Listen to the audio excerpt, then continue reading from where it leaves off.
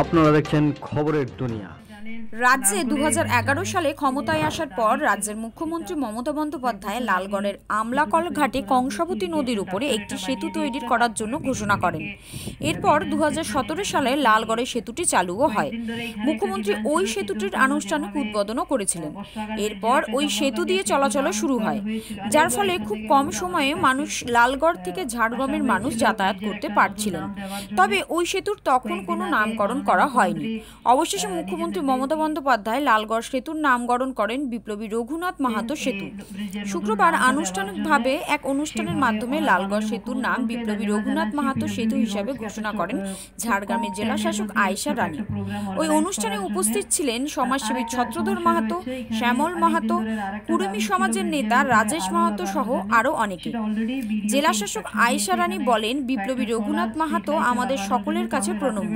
তাই তার নামে এই সেতুটির নামকরণ করা হয়েছে তিনি আরও বলেন যে এই সেতুটিকে কে আলোকপাত করার জন্য উদ্যোগ নেওয়া হচ্ছে যার ফলে সেতুটি খুব তাড়াতাড়ি আলোকিত হয়েও উঠবে। খুব শীঘ্রই লালগড়ের বিপ্লবী রঘুনাথ মাহাতো সেতুটি আলোকিত করে তোলা হবে। এর ফলে এই সেতুর উপর দিয়ে রাতের বেলা যানবাহন চলাচল করতে কোনো অসুবিধা হবে না। সাহা অপটিক্যাল এখানে আপনারা fast track Rayban Vogue Scott ইত্যাদি নামি দামি ব্র্যান্ডেড কোম্পানির সানগ্লাস ও ফ্রেম, এছাড়াও ক্রিজাল, কোডাক, প্রাইম কোম্পানির লেন্সও সুলভ মূল্যে পাবেন। এখানে অত্যাধুনিক যন্ত্রপাতি এবং অভিজ্ঞ ডাক্তার দ্বারা চক্ষু পরীক্ষারও সুব্যবস্থা রয়েছে। Saha optical, Debagram Ananda mini market, station road, Nadia. বিস্তারিত জানতে যোগাযোগ করুন seven nine zero eight three double seven six zero eight এই নাম্বারে। সকলকে ধন্যবাদ জানাচ্ছি। পিডব্লিউডি রোডসকে এত খুব কম টাইমের মধ্যে এই ছোট একটা প্রোগ্রাম অর্গানাইজ করার জন্য। আর আর একটা সমস্যা রয়েছে, এখানে অনেক দিন ধরে আর একটা দাবি ছিল, ব্রিজের উপরে আলো লাগানোর জন্য।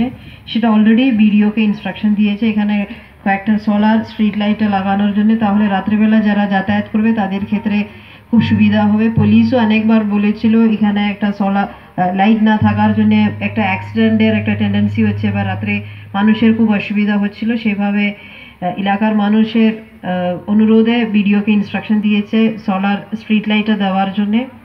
আমি সকলকে এই প্রোগ্রামে বসে থাকার জন্য ধন্যবাদ জানিয়ে আমার বক্তব্য শেষ করছি। নমস্কার।